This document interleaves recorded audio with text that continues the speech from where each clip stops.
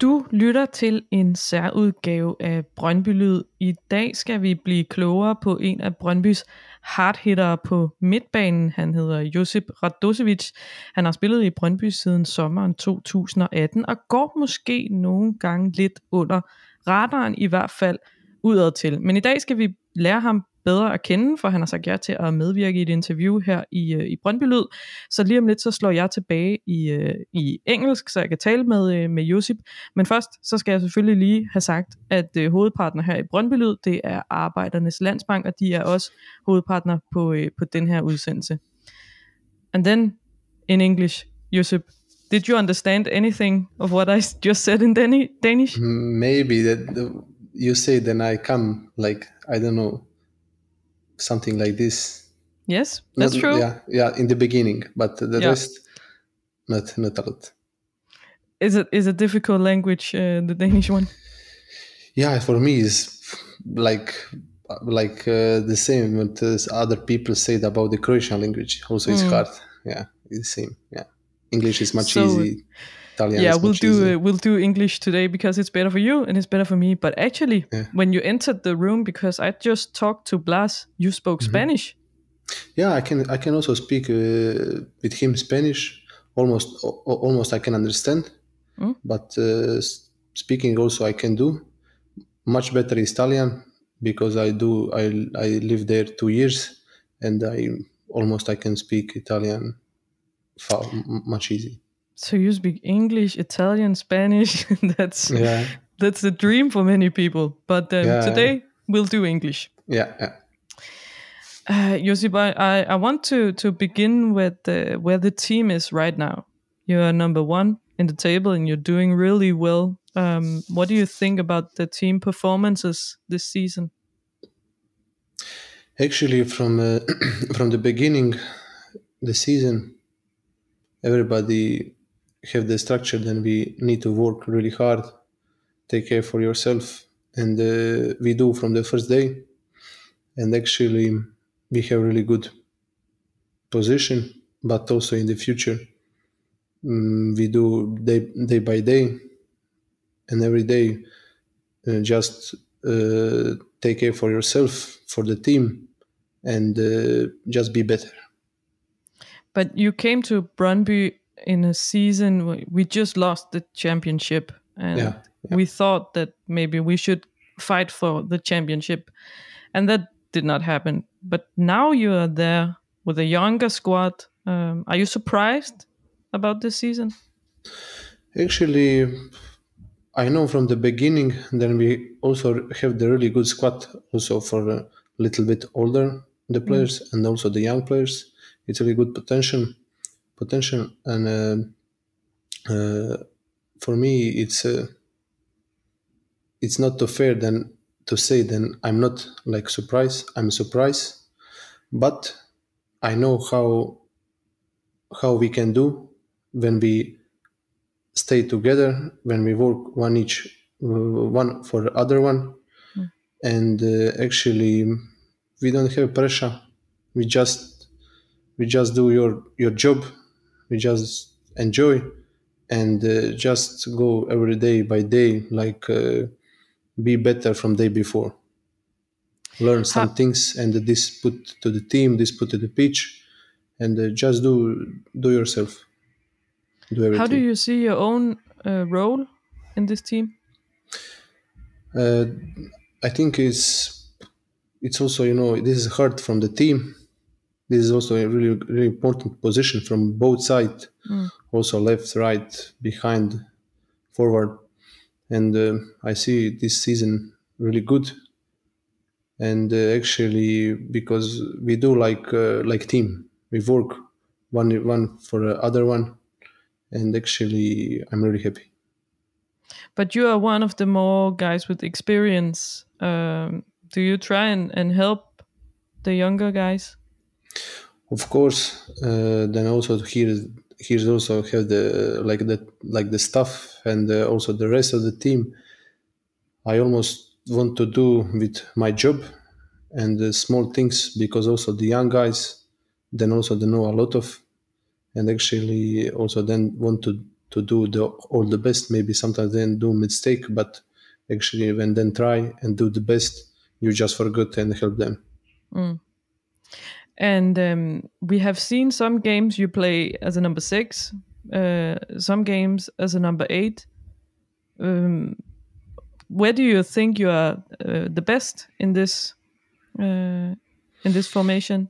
Actually, when we play like uh, when we play five three two, what actually I I'm most comfortable and I like most, and I know then I then can I give give all the best in the number six. But when we play also with two sixes, is four four two example also is the same. Also is the same because actually this little bit change always like uh, always depend the system. But actually, I I do what what coach want from me, and uh, in a depend of the time when the team want me. And can you tell us a little bit about what it is that Niels wants from you when you go on the pitch? What does Niels tell you? What is your job on the pitch? Yeah, this is also you know depend of the team, depend of the against team who against who, who we play because actually every uh, uh, each team play different system or different style of playing. Then have one of good things, one of bad things, but actually always is uh, it's a lot of things because this is hurt from the team. You need to go, you need to congrats the ball, you need to pass the ball, you need to uh, bring the ball from the defender, put the to the winger, put the, the number eight. It's a lot of things, but I like. And I- you're very good in in especially the pressuring um, in the pressure. Do you have like um, some responsibility in the pressure to get the rest of the team up in the in the right moments? Yeah, actually, we have also some point that uh, when when can we the make the pressure, and actually when we do when we do this do together, actually help each one, and also maybe other guys help me a lot because actually I I can do this alone. Um, then I just have to find the right page. Yeah. um, in the midfield, you play with some very young guys. Mostly it's you, Jobbe, and Frendrup. Um, first of all, Morten Frendrup. How good do you think he can get? How big is his potential? Actually, I like him from the first day when I came here. Maybe first two years he don't play a lot, almost almost nothing, and then actually when I'm in- injury he he start to play, and uh, I'm really happy for the first day from him. He always do yourself. Uh, you, you, he always do uh, your job uh, in the pitch, without in, in out the pitch in the fitness, and is re- really um, really professional guy. I like him, and uh, he can he can he he in the future he really have good potential for for make the one day big transfer and uh, it's just you know just about him and but for now he do your best And then there's Jobbe. He's a very different type of, of player. Um, what is your relationship with Jobbe? actually is like other guys it's really good and uh, it's important everybody have your task in this team. And Jobbe also have your task and uh, he he he make really really really good job for the team. And uh, he's have a really big talent and uh, just need to stay focused for small details every day. And uh, don't put the head up just stay in the job and uh, will be everything good.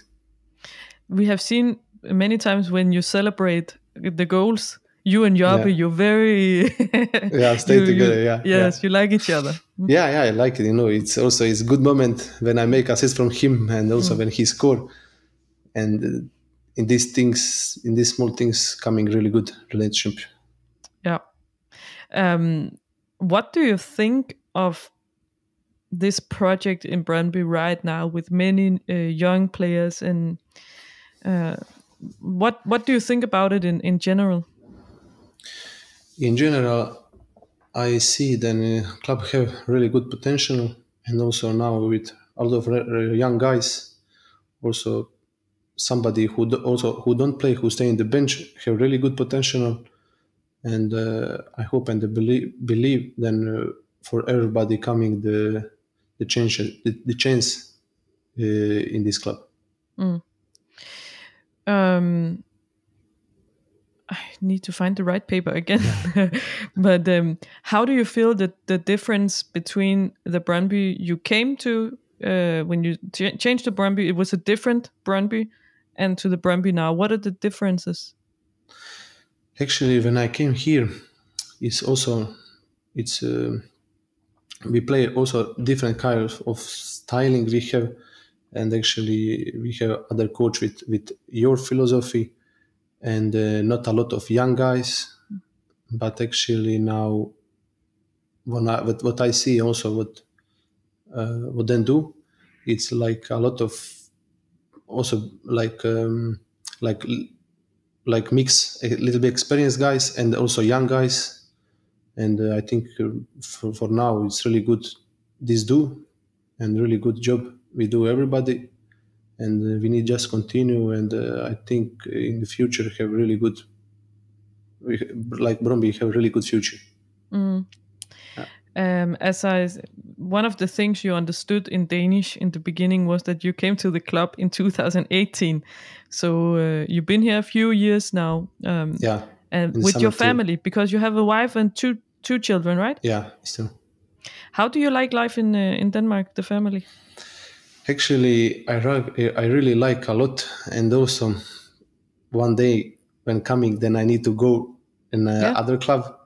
Will will be really really hard for me and the family because actually we here adaptate really nice and also have um, we have also like friends here and uh, my son starting to go to kindergarten. And my wife also what is for me really important she like here. And uh, i don't know it will be really hard to go one mm. day. I don't know when. Maybe your son will start speaking danish if he goes actually, to kindergarten. yeah yeah actually uh, we have also uh, uh, friends too close to the house like neighbor. We have then also when then when he go to, to them and uh, and then play to the street he he can understand something in Danish but in kindergarten they just speak uh, English okay yeah. but maybe one day he comes home and speak Danish to you and then yeah. let's let's yeah. see if you understand him yeah maybe some words um what uh, I, have seen back uh, when there was no uh, corona you you took your family often to the stadium um, yeah. Do they like to come in uh, in Brøndby Stadium? Yeah, of course. My my wife don't don't don't want to lose the match when it's possible now for the corona. Uh, she look sometimes to the TV, but it's not like when she feel like stadium, like fans, like atmosphere. Mm. And she tell me then she also miss to be here. Yeah. And what the your your your children? Um, how old are they? Uh, actually, the Gabriel big one have three years and uh, two months, and the small one uh, Rocco have uh, one year and two months. Exactly the same as my son. Ah, exactly. good, good, good, good. So he's running around now. yeah, yeah. Big one have the power, just want to play. Mm-hmm. Yeah. Um, I also, uh, you want to talk a little bit about uh, your past. Um, yeah because uh, can you can you try and explain how was it for a young Croatian football player to go in a very young age from Hajduk to a big club like uh, Napoli? Yeah, um, actually, for me, it's I also go when I when I play in Hajduk. I want to say this first. When I play in Hajduk, actually, uh, I'm from I'm like 30 minutes from Split, Mm. And uh, when I was when I played like last two years in the Hajduk, I always live in the split. Uh, for me, is like one hand, it's not big change to go mm. to Napoli, and uh, one other hand it's really hard because it actually is really different mentality of the people uh, really different the, the country and uh, also the napoli is different clubs compared to other clubs in italy also the about the fence and about the living and at the beginning it's for me it's really hard to be in there but also when i see now i'm happy you know because what what don't kill you in the life you Mhm. make stronger after this Yeah, you learned a lot. yeah yeah it's true it's true What did you learn from from that experience? Actually i learned a lot about uh, the also about also the football about the like private life about a lot of things. And I, i'm really for this uh, happy. And also the football i, I change to like two three really big coaches. And uh, i play with uh, really like famous like big big players. And uh, when we play with them you can see then you can see a lot of things what you see before just for the tv Yeah, because you you have also been in uh, in Spain and Yeah. you've been in in Austria. Yeah. Um, where was the best experience for you, uh, as you remember now? Actually, mm, I like also the Spain because people really, I don't know, in different way, then really enjoy to the football Mm. and uh, also outside the, in the life in the street. And uh, when I when I was also when I've been in the it's Eibar, it's like small the clubs in the zona in it's a north to the Spain. Yeah. It's a, it's like Baskia, one part of the Spain, and uh, I I'm also really like the Spanish the football. Mm. It's really really good, and also when I was in the Red Bull Salzburg, also I like, and uh, I'm really happy, you know, to be in these really big clubs. Yeah, because you, it is really big clubs, and then Yeah, Brøndby. I know for me, Brøndby is the biggest club in the world, but of course. um, in the for the objective uh, spectator, maybe Napoli is a big uh, bigger. so so why did you choose to come to Brøndby if you remember back now?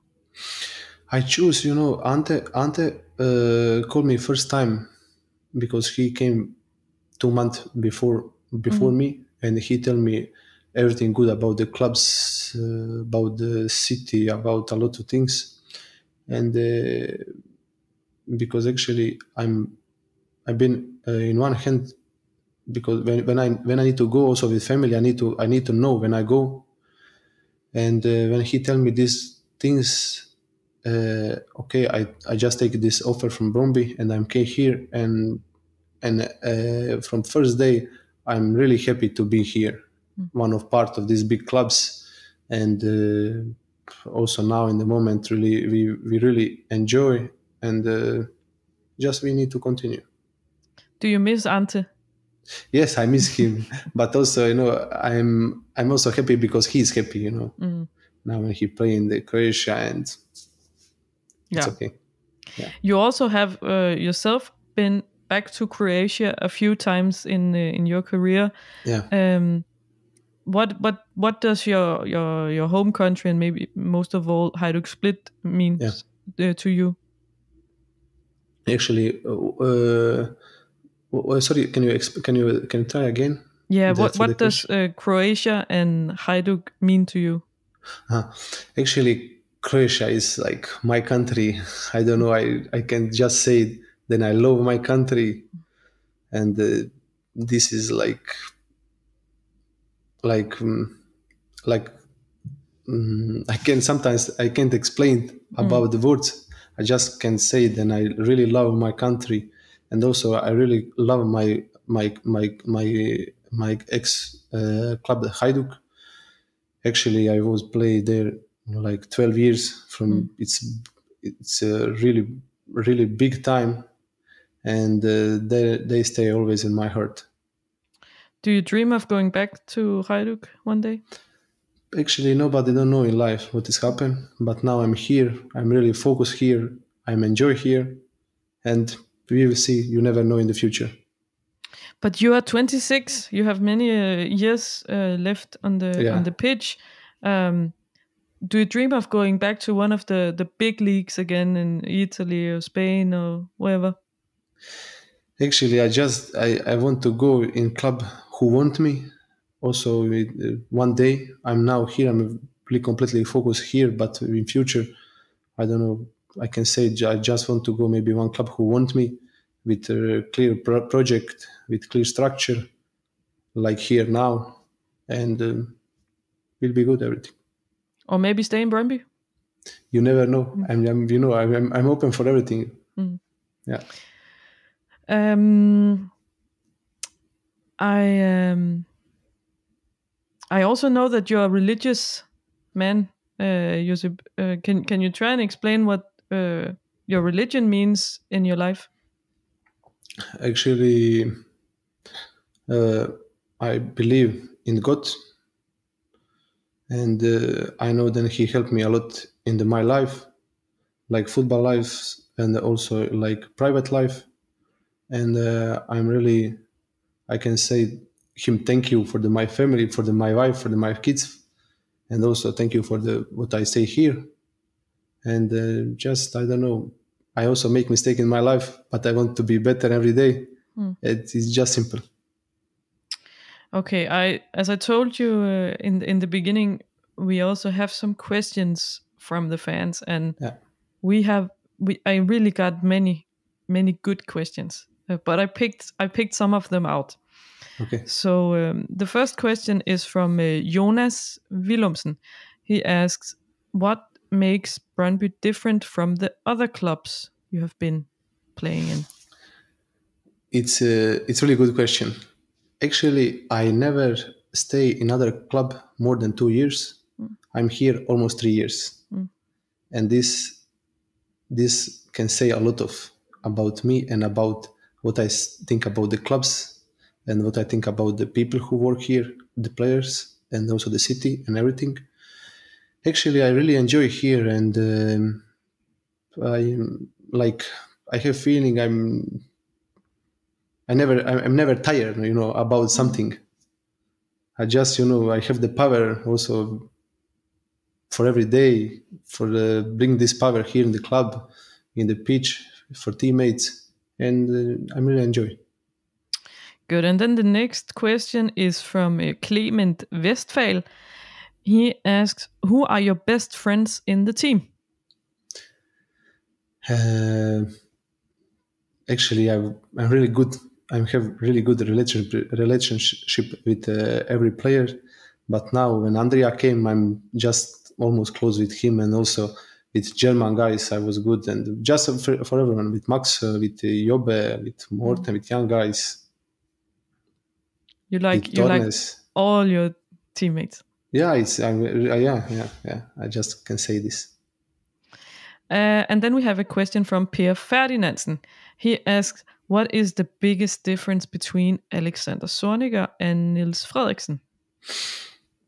Mm, actually, it's uh, it's two it's two different kind of kind of people and kind of coaches. Um, but for each one, also for Niels now, I just I, I take always a, a lot of good things. Uh, he can he have really good structure uh, against the team who we, we need to play, and he put uh, uh, he put what what what is what what I saw. He put you know just clear structure about before the every game, and uh, he help uh, he help he help uh, the the the me the everybody for just uh, to stay sure what we need to make to the team. Uh, This I think this is really important, also for him, also for us, because everybody need everybody know what what they need to do. And actually, here he have really good plan about the, the trainings, about the everything, and uh, it actually work good. Yeah, and about the Alex, Alex also is uh, it's uh, like more German coaches. He al- always um, he he he really a lot of uh, he he stay also a lot of focus with- about the team and about teammates. And uh, I want also say to him all the best. And yeah, Uh, then we have a question from Martin uh, Christians. He asks, "What what has been the biggest cultural difference in Denmark compared to the other countries you lived in? Uh, about the culture. Uh, the- Yeah. the- the- The biggest uh, difference in in culture." yeah. Mm, I don't know. Actually, uh, it's hard to say because also um, also here people believe to God, uh, but this is also a question about each one. And actually, I can say uh, in in uh, Italy is more close to like Croatia, uh, but also what I saw here, uh, it's people. It's really like um, living without the corruption, and uh, this is also one biggest part of the of the of the question about the human. Mm. And this is for me really important. This is maybe first of steps before the religion, and we people here really really living honest Mm. in a, a lot of good ways, and this I, I respect a lot. Yeah. All right. Then Alex Jensen he asks, uh, "Who is the best player you ever played with?" really actually i have two three really good You can mention all of them if you want. yeah Cavani is i remember he's a really really good player also gonzalo higuain uh, Dries. Mertens, yeah and uh, also lorenzo insigne. This this this guys is really good. Insigne, was he difficult to stop when he's uh, running around the legs? yeah yeah yeah. It's he really good skills and uh, the finisher it's a really good player. All right, and then I have something uh, here in the in the end, uh, Josip, because I um I talked to to one of your t- teammates once. I know you guys were out doing some paintball at one time, and then I talked to one of the guys, and he said Josip was crazy, paintball crazy. you remember? yeah yeah i remember i remember Is it true that you got shot and you just did this? I, I, I, I can't I can't remember this. Uh, I don't know. Maybe it's happened, but I'm not sure. You know, because actually we play. We need to stay. Like when you when you get the the I don't know how his name. When you get the how his name is this When you get the shot? the shot when you get the shot, you need to go out. You know. Mm. But I, I don't know. Maybe it's happened. You know, when we play and everybody want to to to win, and I don't know what is happened. it's just a story. yeah, yeah.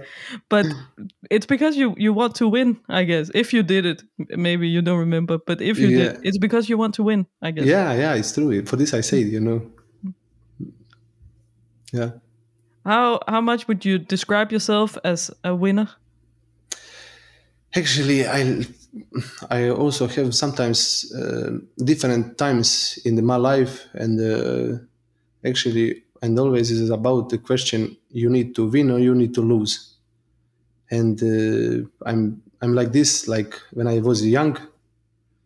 And actually, I just want to win. You know why why why I train, why I do all the best every day, just for the win. Sometimes, of course, you need to respect the uh, the the team against who you play, and uh, but this is a feeling inside me, and I just want to follow this.